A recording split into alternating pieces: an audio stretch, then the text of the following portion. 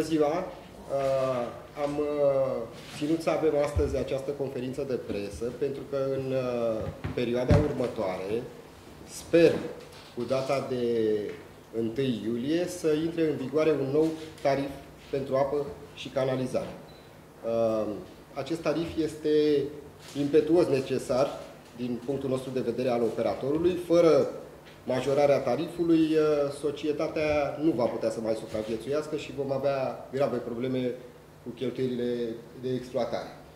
O să trec direct în subiect și să vă fac o scurtă analiză cum stăm în momentul de față cu tariful, cu nivelul tarifului, unde ne încadrăm în uh, lista celor 47 de operatori, Uh, suntem din țară, da, în momentul de față, dacă vedeți, eu am trecut acolo, ăsta este tabelul al RSC-ului, dă puțin sus, Ionel, este la data, sunt prețurile valabile până la data de 1 a 7 a 2023. Sus de tot scrie undeva, tarifa apă canală operatorii așa, în vigoare până la 1 a 7 a 2023. Luna următoare, sau în cadrul acestei luni, de fapt, se fac uh, alte analize la NRSC, operatorii vin, își prezintă fie plan de afaceri cu proiect pe fondurile europene, fie plan de afaceri fără proiect pe ordinul 230 și la 1 a 8 probabil o să stea altfel situația. Adică lunar uh, aceste prețuri au o dinamică în țară. În momentul de față, noi ne aflăm pe poziția, te rog frumos Ionel jos de tot, 40 6, nu este 46, că de fapt eu am mai introdus apa service ca să vedeți dumneavoastră unde ne vom situa cu tariful nou. Deci sunt 47 de operatori și suntem uh, cu două poziții în spate, adică pe poziția 45 am fi ca operator cu 8 lei 85. Prețul ăsta de 8 lei 85 este prețul fără TVA al uh, apei și canalului adunate. 4 lei 40 pentru tariful la apă, 4 lei 45 la canal. TVA-ul care se adaugă, în cazul serviciilor de apă și canalizare, noi avem TVA de 9%. Deci mulțim cu 1,09 și ne dă prețul de 9 lei 60 sau ceva de genul ăsta. Bun. După aplicarea noului tarif, vom ajunge pe poziția 17. Da? Deci nu ajungem nici măcar în primii 10, nu ajungem nici măcar în primii 15. Eu zic că este un preț mai mult decât rezonabil. Am reușit cu eforturi majore să ne încadrăm în această modificare de preț cu ajutorul contractului pe fonduri europene, pe POIM, pe care urmează să-l semnăm. La momentul de față nu este efectiv semnat dintr-o imposibilitate tehnică a Ministerului Fondurilor Europene, pentru că proiectul, deși este pe POIM, sursa de finanțare va fi din PODD. Se va faza acest proiect începând cu anul 2024, se termină poimul la sfârșitul decembrie 2023, s-a încheiat poimul și începe PODD-ul. Neavând, practic, cadrul legislativ, ghidurile, consultări publice, Ministerul nu poate încă să ne lase să semnăm. Dar uh, noi ne-am dus, am făcut diligențele necesare și am explicat ANRSC-ului, domne, suntem în situația în care suntem gata de semnare, avem toate avizele, toate autorizațiile. Practic, nu e vina mea a operatorului că nu pot să semnez în momentul de față. Și atunci Ministerul Fondurilor a înțeles, ANRSC-ul a înțeles și ne-a dat voie să mergem pe partea asta de legislație, să ne ducem cu tariful la 12 lei 66 fără, fără TVA. Deci va cu tot cu... Da, preț apă potabilă 5 lei 88 preț canalizare 6 lei 78. Bun. În cazul în care nu ne lăsa să facem acest lucru, trebuia să mergem pe o altă uh, normă legislativă, era Ordinul 230, unde trebuia elaborat un, un plan de afaceri pe care noi îl făcusem deja, ne-am pregătit și cu planul ăla de afaceri, numai că nivelul tarifului acolo ar fi fost de 17 lei și 50 de bani cu tot cu TVA, deci vreo 16 lei și un pic. Asta ne-ar fi propulsat pe prima poziție. acum, prima poziție are 15,07. 15,07, compania de apă Arieș Turda. Acum dacă, da. Acum dacă facem o analiză uh, și am văzut eu, din, adică din experiență și din ceea ce am văzut, de obicei operatorii mici ca să poată supraviețui și să se poată, să-și poată desfășura activitatea, vehiculând volume mici de apă, au nevoie de obicei de un tarif mai mare. Turda, dacă stăm să ne gândim, cred că e un oraș relativ similar cu, cu Giurgiu ca număr de locuitori, poate chiar mai mic și uitați-vă unde sunt, uh, unde este nivelul prețului. Da, Galațiu, Galațiu sunt mari. Galațiu sunt mari și au și preț mare. Compania de apă Buzău, iar, dar uh, sunt uh, toate astea, primele poziții care le vedeți dumneavoastră, sunt operatori care și fac foarte multe investiții. Adică banii ăștia care îi vin operatorului, o parte din ei sunt cheltuieli de exploatare, cheltuieli de operare, iar diferența uh, este o redevență sau cheltuieli pe care poate să-i folosească pentru investiții. cifre absolute de la cât crește prețul la cât ca să ne De la 8 lei, uh, jos vă rog, de la 8 lei 85 la 12 lei 66. Spuneți-ne și de parcat, pe apă și la apă plecăm de la 4 lei 40 și ajungem la 5 lei 88, stați că vă și spun în procente, deci o creștere de aproximativ 33% la apa potabilă și 52% la uh, apa uzată, adică plecăm de la 4 lei 45 și ajungem la 6 lei 78. Și pe total crește? Per total o crește medie totală fiind cam de aproximativ 43%. Nu e cam mare? Astea sunt uh, condițiile. De la 1 uh, martie 2022 n-a mai fost. Dar până atunci era o perioadă lungă în care nu mai fusese majorate prețurile. Și acum ce motive ați spus că au apărut? Creșterea prețurilor la toate materialele și serviciile activi, uh, aferente activității societății. Creșterea ratei inflației. Adică, Uh, se calculează un, uh, o creștere a inflat. Cum se calculează creșterea asta? Indicele prețului de consum la servicii, IPC-ul servicii, se ia de la ultima, uh, ca asta făceam mai devreme, de-aia v-am rugat să nu mai așteptați un pic, se ia de la ultima lună în care a fost modificat tariful și se raportează la luna în care va intra în vigoare tariful. Și în cazul nostru este de 12,89 acest indice la alte motive ce mai urmează? După... La alte motive am trecut lipsa uh, componentei de redevență în tariful de apă, deci până acum Giurgiu a fost oarecum în ilegalitate neavând redevență pentru uh, în tariful inclusă, lipsa investițiilor în ultimii ani, adică s-au făcut niște investiții atunci când s-au atras fondurile europene pe post și de atunci nu s-a mai mișcat absolut Asta nimic.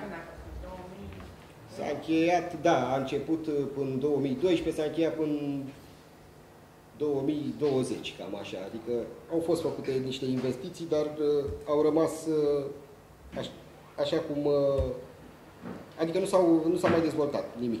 Evoluția prețurilor la energia electrică, începând cu luna septembrie anului 2022, când am ajuns să plătim septembrie, octombrie, noiembrie și decembrie uh, 1 milion și, și vreo 500 de mii, 1 milion 600 de mii la energia electrică față de 350 de mii într-o lună anterioară, adică au fost trei luni când am ieșit, e, operatorii de apă au ieșit de sub efectul plafonării la energie electrică și practic ne-a aruncat în aer. La luna septembrie aveam uh, un profit de un milion de lei, luna decembrie, am anul de fapt, l-am încheiat cu o pierdere de un milion 400 de mii de lei.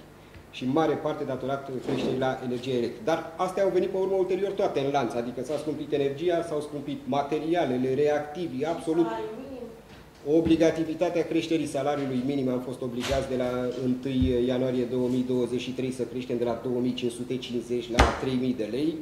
La, noi la APA Service avem un număr de aproximativ 340 de angajați, din ăștia 340 vreo 200 de angajați sunt încadrați cu salariu minim. Dar vă dați seama, au trebuit făcute creșteri și uh, față de cei care nu aveau salariu minim, pentru că îi ajungeau cei cu salariu minim din urmă pe cei care aveau, nu știu, 3000, da, da. adică nu puteam, creșterea asta ne-a impus-o doar la salariu minim, dar este ca, ca și mesaj transmisă, dar tu în realitate trebuie să vii și să echilibrezi toată grila salarială. N-au fost la fel de mare, adică dacă la cei care am fost obligați să le creștem de la 2550 la 3000 de lei, le-am dat 450 de lei, poate în celălalt palier am mers cu sume mai mici. 400, 300, cu cât creșteau salariile și erau nivelul mai mare, cu atât am căutat să facem și creșterea mai mică.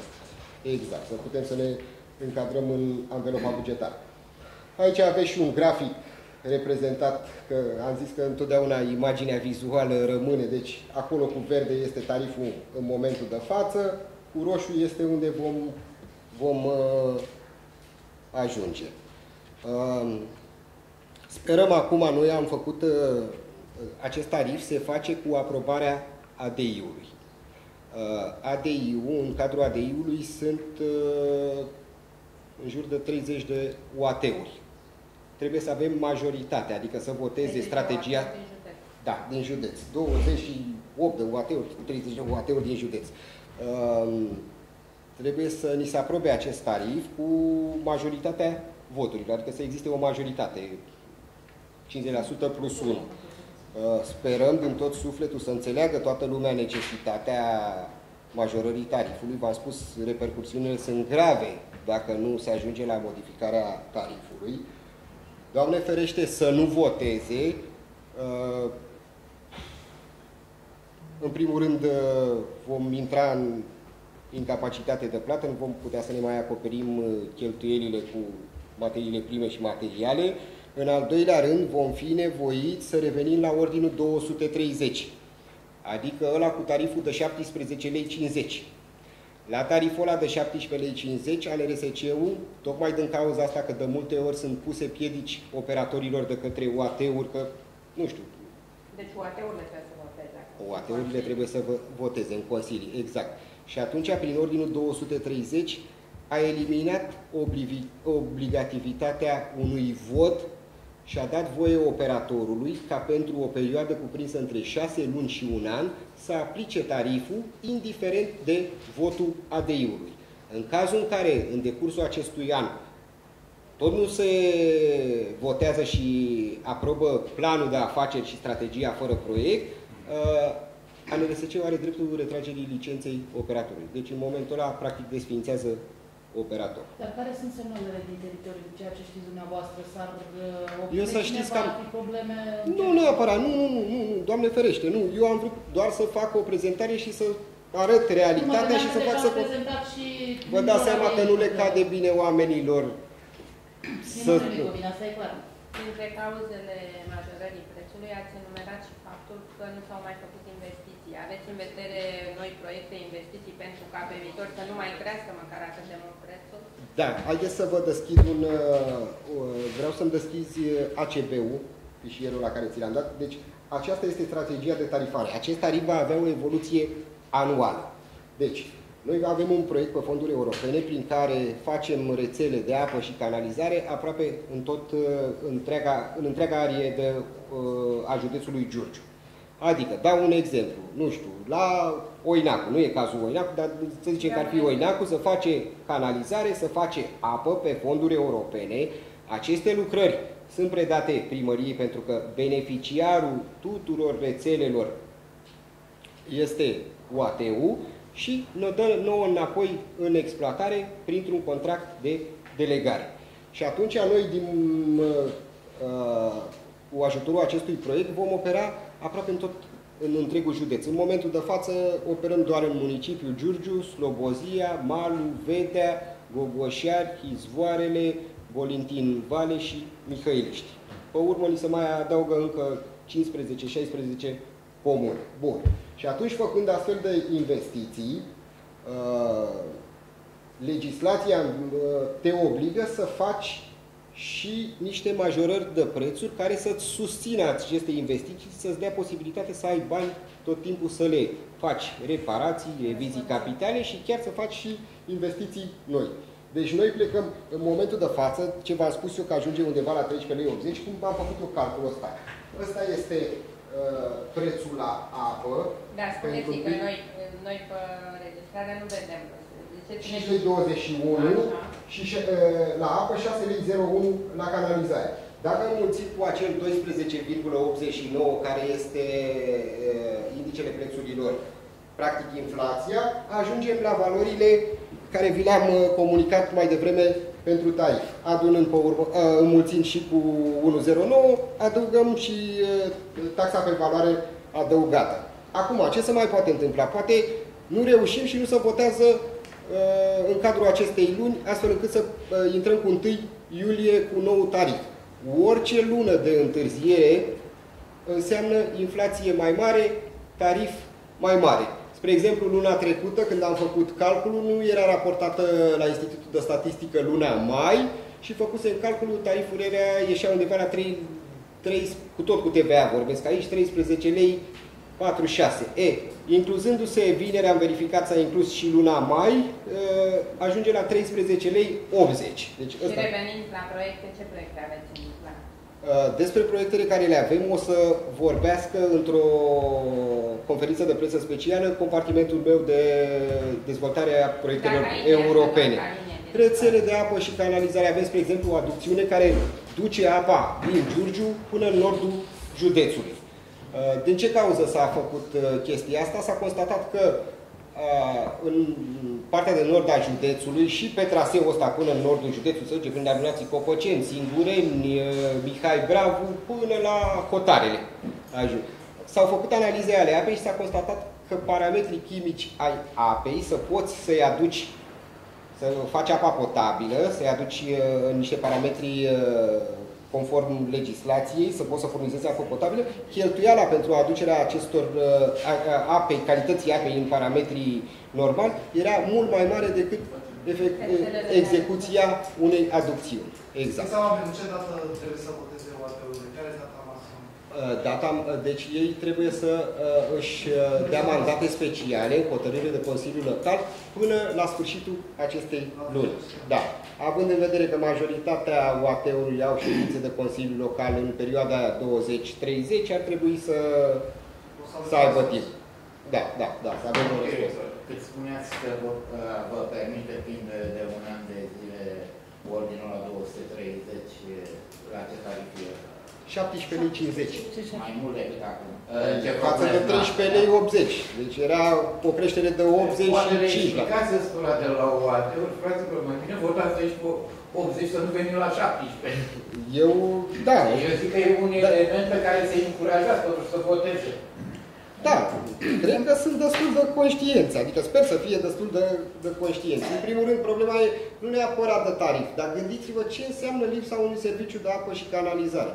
Cum să trăim? Suntem în secolul 21, nu putem să, să, să stăm fără, fără Hai să zicem că fără apă, încă o dată, am mai spus, ne mai descurcăm în momentul de față, că ți iei apă plată, bei apă plată, că ți car cu să te speli, deși e ca nepoca de piatră. Dar să nu folosești serviciul de canalizare e imposibil, adică să nu poți să tragi apa la baie, cum să facem așa ceva?